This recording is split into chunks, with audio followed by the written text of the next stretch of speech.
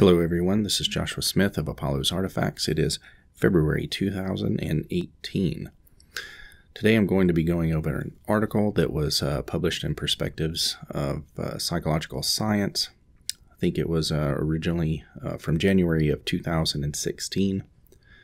It is entitled The Top 10 Replicated Findings from Behavioral Genetics by Robert Plomin, John C. DeFries, Valerie S. Knopik, and Jenae M. Neiderhiser. Uh, Robert Plomin, of course, is from King's College, London. There are a uh, number of different reasons that I've decided to go over this. Before I get into the abstract, uh, one of the things uh, is that it's uh, really become quite an irritant to me that the left always wants to put it out there that they are the only side that is on the side of science. However, um, the left progressives also uh, have uh, quite a bit of anti science or science denialism amongst themselves uh, in ways that are actually quite similar to uh, conservatives, especially religious conservatives. Though that is not necessarily always the case with either side, but this is uh, just to point out something that's been really common lately. There are also some outstanding um, interviews available with Robert Plomin. Uh, he is a person of the left and uh, he points out in these interviews that uh, because of a number of his findings around um, intelligence or G, uh, that he has been attacked, uh, you know, as uh, some kind of a dangerous uh, person. He said that he has not actually suffered physical attacks, but he has, you know, received threats and lots of negative, outrageously negative commentary. However, the the data and the science continually um, comes up on on his side of the argument. So we start with the abstract here. In the context of current concerns about replication in psychological science, we describe 10 findings from behavioral genetic research that have robustly replicated. These are big findings, both in terms of effect size and potential impact on psychological science, such as linearly increasing heritability of intelligence from infancy 20% through adulthood 60%, Four of our top 10 findings involve the environment, discoveries that could have only been found using genetically sensitive research designs. We also consider reasons specific to behavioral genetics that might explain why these findings replicate. And I uh, do not uh, plan to read the entire article, just some of the uh, salient high points. It is uh, 26 pages long, and I will link that below. Introduction a recent concern in psychological science is that many statistically significant findings, including some classic findings, do not replicate. This problem is not unique to psychological science. A landmark paper with the title Why Most Published Research Findings Are False was relevant to all scientific research. It was accompanied by a paper that focused on medical research showing that 49 that of 49 most highly cited medical papers only 34 had been tested for replication, and of these, 14 had been convincingly shown to be wrong. Five of the six studies with non randomized designs failed to replicate. Subsequent studies of attempts to replicate medical findings yielded similarly gloomy results. Such research led to claims that 85% of research resources are wasted. In psychological science, a systematic attempt to replicate 100 studies found that only 36% yielded significant replication. Another attempt to replicate 17 structural brain behavior findings concluded that, quote, we were unable to successfully replicate any. Although much has been written about the diagnosis, cause, and prescription for fixing these cracks in the bedrock of psychological science, there is consensus throughout science that the final arbiter is replication. In this context, the purpose of this paper is to highlight 10 findings about the genetic and environmental origins of individual differences in behavior that have consistently replicated. There is a lengthy introductory portion that talks about uh, scientific laws, heritability, and so on but I'll move right down into their list. Um, number one, all psychological traits show significant and substantial genetic influence. Psychological domains that have traditionally focused on individual differences are those that have been studied most using genetically sensitive designs, primarily the twin method that compares resemblance in pairs of identical and fraternal twins, cognitive abilities and disabilities, psychopathology, personality, substance use and abuse, and health psychology. Traits in these domains have consistently shown significant genetic influence in adequately powered studies. Which has led this to be described as the first law of behavioral genetics. As an example, a review of the world's literature on intelligence, which included 10,000 pairs of twins, showed that identical twins are significantly more similar than fraternal twins, with twin correlations of about 0.85 and 0.60 respectively, with corroborating results from family and adoption studies implying significant genetic influence. Although most of this research was conducted in the United States and Western European countries, significant genetic influence has been found in countries such as Russia, the former East Germany, Japan, and rural and urban India. Recent studies continue to report similar results, as seen, for example, in a report of 11,000 pairs of twins from six twin studies in four countries. We are not aware of a single adequately powered study reporting non significant heritability.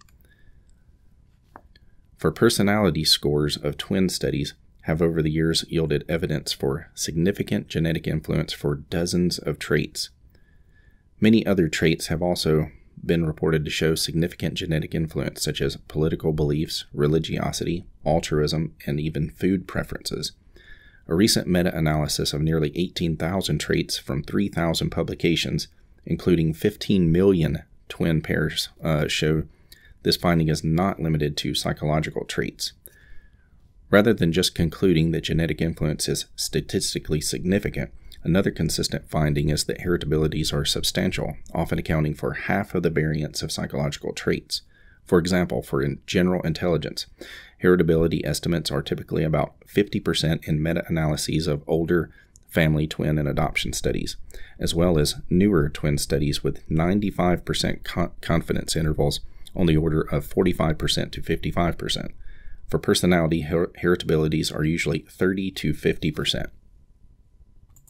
And after a section here where they go over DNA differences and genome wide complex trait analyses, they conclude significant and substantial genetic influence on individual differences in psychological traits is so widespread that we are unable to name an exception.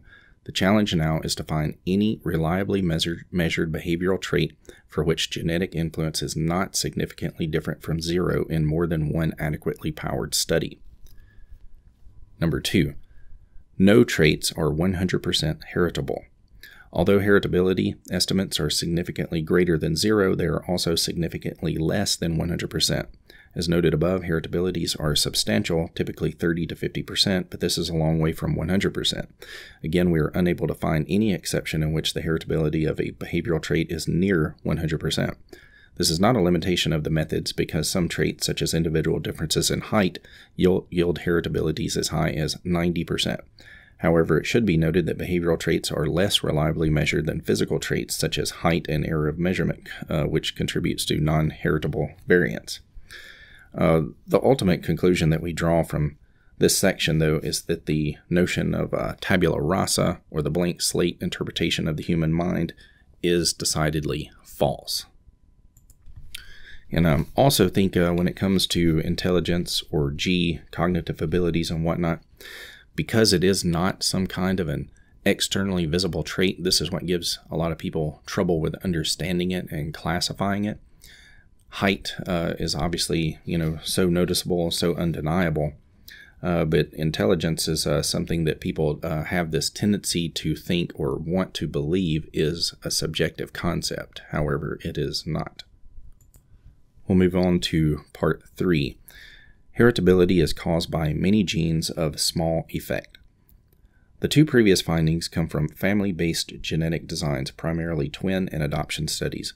Although the quantitative genetic model underlying these methods assumes that many genes affect complex traits and common disorders, these methods cannot estimate how many genes are involved in heritability or the distribution of their effect sizes. Number four, phenotypic correlations between psychological traits show significant and substantial genetic mediation. Mediation here means that it helps to bring it about. Cognitive abilities have been studied most systematically from a multivariate genetic perspective.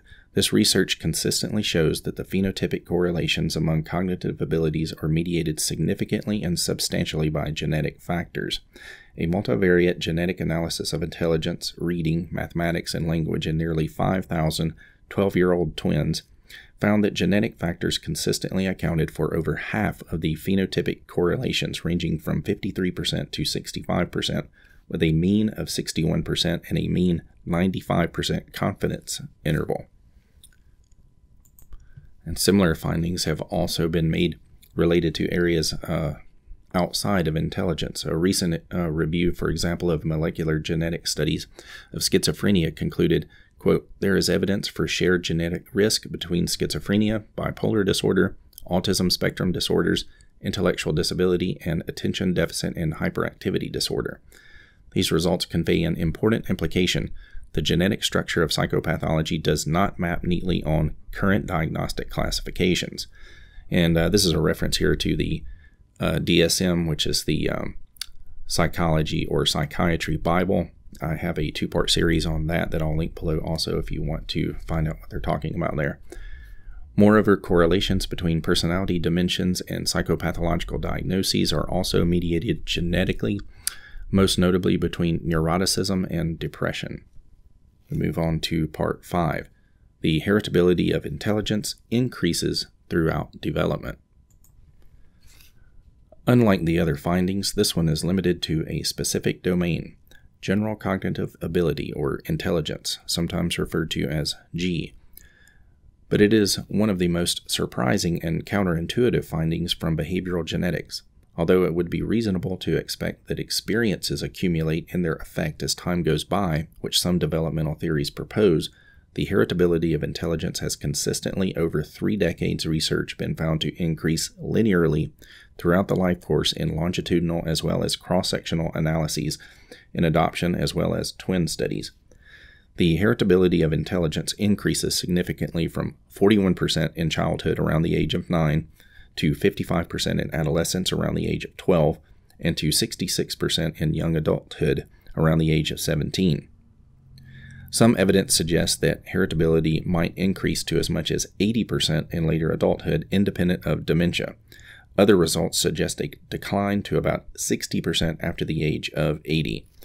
And uh, this averages out uh, overall to a range of, say, 55% to 60%. I typically stick with a number 60% because the lows you usually see are 40%, the highs are 80, and you average the two, and that gives you that figure. Why does heritability of intelligence increase throughout development? Increasing heritability could be due to new genetic influences coming online, a process called innovation, which would seem reasonable given the changes in brain structure and function that occur during development. However, the next finding about age to age genetic stability suggests a less obvious reason for the developmental increase in heritability.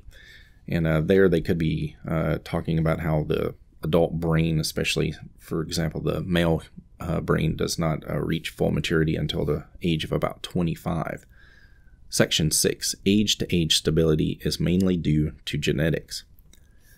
For personality, the first report of a longitudinal genetic analysis over an age span of a decade concluded that 80% of the phenotypic stability was mediated genetically. This even applies in such areas as psychopathology, such as borderline personality disorder, BPD, attention problems, aggression issues, withdrawn behavior, anxiety and depression, and the general internalizing and externalizing problems.